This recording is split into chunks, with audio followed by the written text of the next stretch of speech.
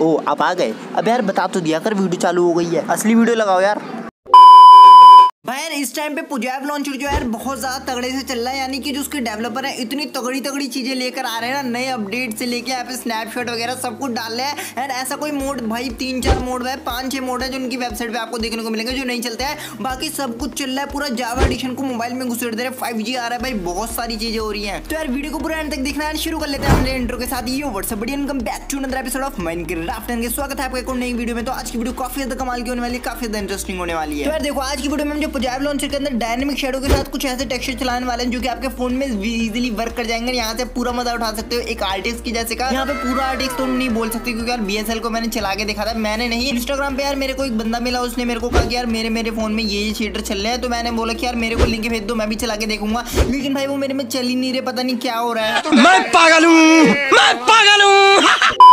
आप एक बार देख भी लो स्क्रीनशॉट्स वगैरह। और देखो, अगर आपको जैब लॉन्चर के साथ गेम प्ले रिकॉर्डिंग की सोच रहे हो तो यार आपको एक हाई एंड फ़ोन चाहिए होगा, छह जीबी रैम के आसपास, क्योंकि यार बहुत सारे लोग ऐसे होते हैं जो कि यूट्यूब चैनल चलाते हैं। उनको एक आर्टेक्स चाहिए होता है, जो कि यार मतलब अच्छा लगे देखने में। बहुत सारे यूट्यूबर होते हैं, वो भी आर्टेक्स के साथ खेलते हैं जैसे खतरनाक वन स्पॉट को देख लो। तो यार वो भी मतलब ऐसे करते हैं कि यार वो गेम प्ले चलाते हैं और उनका गेम प्ले बहुत ज़्यादा सेटिस्फाइंग लगता है देखने में। तो यार सोचते हैं पुजैब लॉन्चर के थ्रू हम क्या कर सकते हैं? तो यार ये करना मुश्किल होगा, क्योंकि रिकॉर्डिंग करते वक्त एफ़ जो है वो ड्रॉप हो जाते हैं। तो यार मैं भी अपने पुजैब लॉन्चर में मतलब रिकॉर्डिंग करता हूँ ना जब मैं सब कुछ नेट ऑफ़ वगैरह रिकॉर्ड कुछ नहीं करता रिकॉर्ड नेट भी ऑफ़ रखता हूँ तो यहाँ पे मेरे को एफ़ तगड़ी देखने को मिलती है। जैसे ही मैं रिकॉर्डिंग ऑन करता हूँ ना, यार रैम खाने लगता है रिकॉर्डिंग एंड यहाँ पे पुजैब लॉन्चर को रैम कम मिलती है। तो यार, इस वजह से आप रिकॉर्डिंग भी नहीं कर पाते। अगर मैं भी रिकॉर्डिंग करता हूँ ना तो यार, थोड़ा बहुत यहाँ पे लैग देखने को मेरे को मिल जाता है। वरना तो अगर यार मैं ऑफलाइन खेलूँ तो यार, मेरे को यहाँ पे तगड़ी एफ़ देखने को मिलती है। और अब बात करते हैं यार, अपने कमेंट्स की, जो कि यार हमें मिलते हैं, यानी कि मेरे को कमेंट्स देखने को मिले। तो चलिए, उनके बारे में भी थोड़ी बात कर लेते तो यार, पहला जो हमारा कमेंट है यहाँ पे फेक वगैरह कमेंट में नहीं लूँगा, क्योंकि यार, वो पता है यार, वो उनको चलता नहीं है उनमें तो फिर वो आके मेरे को बोलते हैं, यार फेक है, बल्कि मैं फेक वगैरह कुछ नहीं बताया, सब कुछ रियल होता है।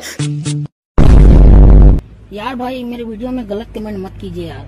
यार, बुरा लगता है भाई, आप लोग भी जानते हैं। पहले मेरे पास यार दो फ़ोन है मैं आपको बता दूँ दोनों फ़ोन में पहले टेस्ट करता हूँ उसके बाद मैं आपको देता हूँ। तो हो सकता है कि आपके जो प्रोसेसर है उस पर थोड़ा लोड पड़ रहा हो शायद प्रोसेसर लो हो तो इसलिए वगैरह नहीं चल रहा हो लेकिन अब फेक वगैरह नहीं होता कुछ भी। तो यार सबसे पहले पिछली वीडियो पे मतलब बहुत सारे कमेंट आए थे कि यार हीट होता है फ़ोन यार बहुत ज़्यादा हीट होने लगता है तो देखो हीट तो होगा आपके प्रोसेसर पे जो लोड है वो पड़ेगा आप चाहे तो मेरी पुरानी वीडियो देख के उसमें जीपीयू को मतलब कैसे एक्टिवेट करें सारा जो है जीपीयू प्रोसेसर दोनों पे लोड पड़े तो यार वो कैसे कर सकते हैं उससे जो थोड़ा हीट है वो कम हो जाता है लेकिन हाँ हीट यार बंद नहीं हो सकती थोड़ा बहुत तो हीट होगा क्योंकि जब मशीन है तो वो चलेगी। और वैसे मैं आपको बता दूँ यार हीट से कुछ होता नहीं है बस फ़ोन गर्म होगा फिर दोबारा ठंडा हो जाएगा। लेकिन हाँ अगर आपका फ़ोन रूट है तो यार बच के रहना क्योंकि यार फट भी सकता है। देखो मैं डरा नहीं रहा हूँ लेकिन अगर आपने अपना फ़ोन रूट कर रखा है ना तो यार गलती कर दी यार बहुत बड़ी क्योंकि यार यहाँ पे जो प्रोसेसर पे लोड है वो मतलब ज़्यादा ही पड़ने लगता है। कि यार देखो यार रूट में क्या होता है जो फ़ोन बनाने वाले होते हैं ना उन्होंने पहले से लिमिट सेट कर रखी होती है कि इससे ज़्यादा टेम्परेचर हो गया। तो यार यहाँ पे रैम वगैरह थोड़ी कम कर दो यार इससे ज़्यादा टेम्परेचर जा ही नहीं सकता। लेकिन जो लोग रूट कर देते हैं ना वो इस एक्सेस को हटा देते हैं एंड वो यार टेम्परेचर उससे ज़्यादा चले जाता है एंड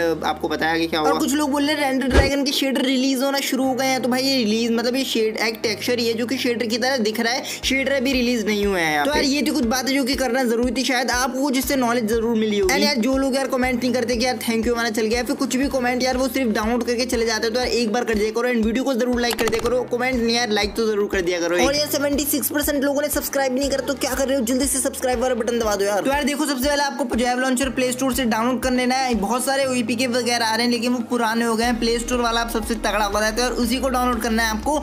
हमारे मतलब आपको मत और आपको जो अब यहाँ पे क्या करना है ऑप्टीफाइन इंस्टॉल करना है सबसे पहले, क्योंकि ऑप्टीफाइन के बिना शेडर्स तो डाल ही नहीं सकते आप। अरे उसी का तो मज़ा है शेडर से तो मज़ा है। जैसे कि देख सकते हैं, मैंने यहाँ पे पंजाब लॉन्चर खोल लिया है। आप अगर पहली बार डाउनलोड कर रहे हो तो यहाँ पे आपको यूज़र नेम डालना पड़ेगा, जैसे कि यहाँ पे सुमित डाल देता हूँ एंड यहाँ पे लॉग इन पे करना है and log in as offline account पे भी आपको क्लिक कर देना है। देन आपको यहाँ पे लॉग का जो बटन दिख रहा है, इसके ऊपर क्लिक करना है एंड सुमित मैंने पहले से डाल रखा है तो मैं यहाँ पे ज़ीरो लगा देता हूँ इसके सामने। एंड अब देख सकते हैं कि अब ये हो गया है, और यहाँ पे मैं लॉग जैसी करता हूँ एंड यहाँ पे देखो लॉग हो चुका है। सबसे पहले आपको जो है अपना इंटरनेट कनेक्शन ऑन रखना पड़ेगा तो यहाँ पे मैं अपना डेटा ऑन कर लेता हूँ। यहाँ पे सबसे पहले आपको यहाँ पे वर्जन बहुत सारे आ रहे होंगे। फ़िलहाल यहाँ पे मैंने अभी अभी डेटा ऑन करा है तो यहाँ पे थोड़ा वेट लेगा तो अभी मैं चीनी होगी। मैं करके देखता हूँ दो मिनट एंड रीस्टार्ट कर लेता हूँ एक बार। यहाँ पे बहुत सारे वर्जन आ रहे हैं। यहाँ पे अब भाई बहुत ही सारे मतलब आ रहे हैं। तो सबसे पहले आपको क्या करना है? 1.16.5 सिलेक्ट करना है। तो यहाँ पे देखो 1.16.5 कहाँ पे है? तो तुम मुझको देखने दो।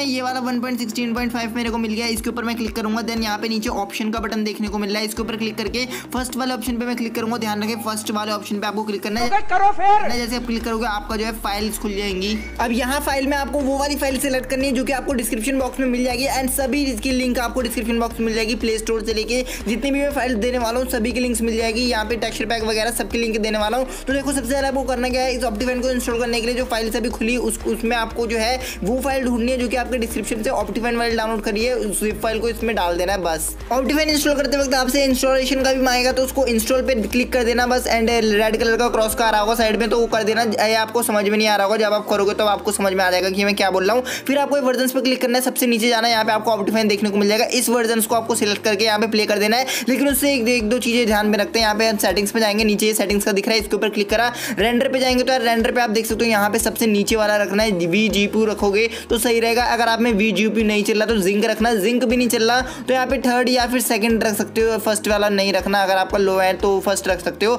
जैसे कि वन जी रैम का हो गया, मेरे को लगता नहीं है वन जी रैम का होगा किसी के पास। तो यार देख सकते हैं यहाँ पे मेमोरी अपने हिसाब से रखना कि आपकी रैम कितनी है। अगर आपकी रैम मतलब एक जी के करीब है तो यहाँ पे बहुत कम रखना। एंड यहाँ पे कम से कम इतना रखना कि मतलब आपके फ़ोन के इतने हिसाब से आए। एंड यहाँ पे मैं, यहाँ पे अगर काउंट करके बताऊँ तो यार अभी मेरे पास जितनी रैम खाली अवेलेबल होती है, उतनी यहाँ से जैसे कि मैं अभी आपको अच्छा। अभी मैंने खोल लिया C P U Z application यहाँ पे ये मैं आपको प्ले स्टोर पर मिल जाएगी इजीली अवेलेबल फ़िलहाल मैं आपको सिर्फ़ एक एग्जांपल देने के लिए बता रहा हूँ कि यार मतलब कैसे होता है, क्या रैम का चक्कर है। तो देखो रैम जो है अभी मेरी जो खाली है, देखते हैं अभी कितनी रैम खाली है। यहाँ पे जो रैम का वो पता लग जाए। देख सकते हैं कि मैंने डिवाइस वाले में सेक्शन में ढूंढ लिया अवेलेबल रैम तो मेरे में अभी जो है सिर्फ़ एक जी रैम जो है खाली पड़ा है, बाकी जो है यहाँ पे तीन जी रैम है मेरे मोबाइल में। तो देख सकते हो कितना मतलब है मेरे में। तो यार एक जी रैम मेरे को रखना पड़ेगा यहाँ पे।